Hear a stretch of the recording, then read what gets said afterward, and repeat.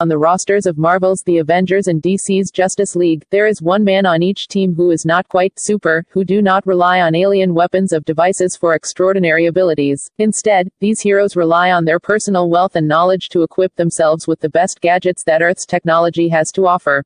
We are of course talking about Tony Stark, Iron Man, and Bruce Wayne, Batman, who represent the poster boy characters of each respective cinematic universe from Disney, Marvel Studios and Warner Brothers, DC Entertainment. So, who spends more to be a superhero? The question has been answered, sort of.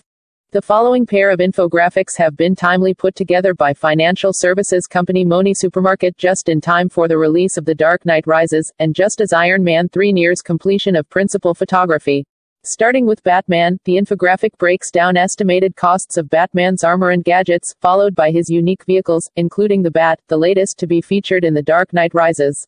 While the breakdown of items is neat to see, the numbers are totally off the mark and seemingly completely made up. In fact, they don't even jive with what was explicitly said in the films themselves. Take for example the Batman Kevlar armor suit, the first version alone, before modifications to make the head able to turn, cost over $300,000, not $3,000, as said by Lucius Fox to Bruce Wayne in Batman Begins. That's also before modifications, not even counting backup suits. The costs of the Batcave are secret underground base in the construction yard as seen in the Dark Knight. There's also the sheer amount of parts Bruce Wayne had to order to build the mask with the embedded earpiece as to not draw suspicion to his nightly activities. Continue to page 2 for the costs of being Iron Man tilde tilde tilde tilde tilde tilde tilde tilde tilde tilde tilde tilde. It's no coincidence that to date, Batman and Iron Man are the only characters of the modern era comic book movie franchises to have earned trilogies of their own films so far, and in the case of Robert Downey Jr.'s Iron Man, he's also the key marketing figure for Marvel's shared universe, beginning with an appearance in The Incredible Hulk and stealing a slot of spotlight in The Avengers. Even more than Batman, Iron Man goes through remodels of the suit like it's his job. In two Iron Man films and The Avengers we'd already seen seven, seven, different versions of his suit. Just look at the Iron Man 3 Hall of Armor to see, how does that compare to Batman's costs?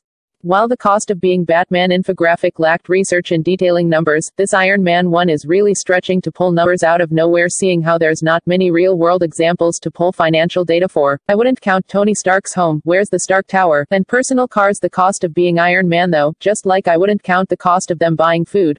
They are right in that Stark undoubtedly invests more in the Iron Man armor than Mr. Wayne does for his Batman tech.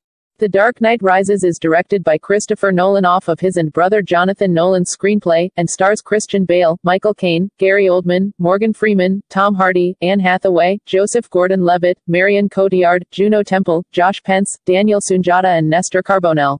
Iron Man 3 is directed by Shane Black based off of his and Drew Pearce's screenplay, and stars Robert Downey Jr., Ben Kingsley, Don Cheadle, Gwyneth Paltrow, Guy Pearce, Jon Favreau, Rebecca Hall, Cobie Smulders, William Sadler, James Badge Dale and the voice of Paul Bettany.